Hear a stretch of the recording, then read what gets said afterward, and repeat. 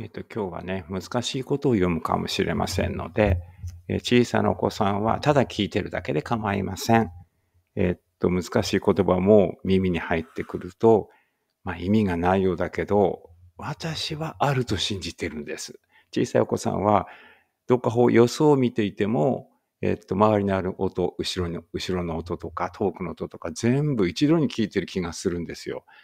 これはもう科学的な根拠が全くないので、えー、何とも言えないとこなんですが、えー、っと、1日5分からだったら、あの、難しいことも聞いてもらってもいいんじゃないかなと思うんですけど。で、えー、っと、学生さんは、えー、一緒に読んでくださいね。えー、これ漢字の勉強にもなりますし、後で英語も出てきますから。それからプロを目指す方は私よりも先に、えー、なるべく読むようにしてください。では行きましょう。勉強音読とは、教科書や参考書などを声に出して読むことです。勉強音読には以下のようなメリットがあります。記憶力が向上する。音読することで目と耳からの情報が脳に刺激を与え、記憶に定着しやすくなります。集中力が高まる。音読することで眠気や気分の乱れを防ぎ、勉強に集中しやすくなります。理解力が深まる。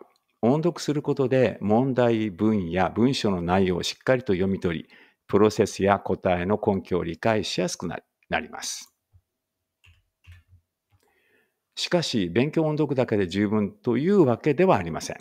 勉強音読はあくまで勉強の一つの方法であり、他の方法と組み合わせることが大切です。例えば、以下のような方法があります。書き出す。ごめんなさい。書き写す。音読した内容をノートに書き写すことで、手からの情報も加わり、記憶の定着をさらに強化できます。これ消したはずなんだ、この番号が出てるな。問題を解く。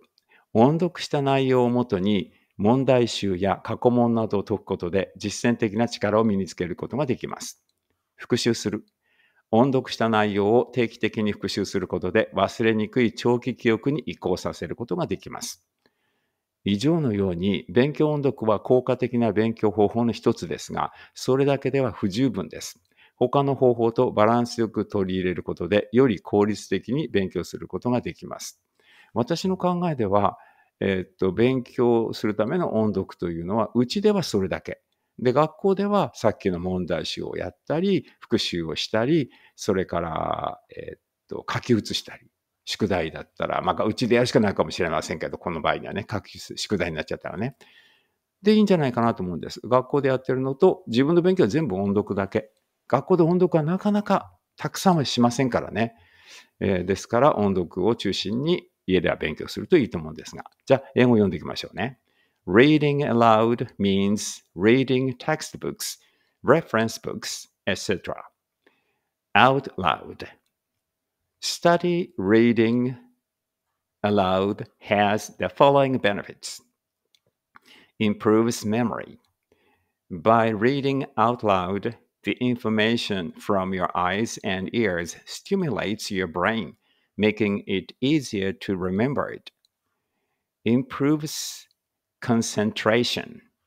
Reading aloud prevents sleepiness and mood swings making it easier to concentrate on studying.